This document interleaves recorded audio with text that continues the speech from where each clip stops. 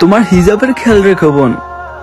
কিতাব তো অনেক আছে, কিন্তু গিলাফ শুধু আল কোরআনের মধ্যেই থাকে।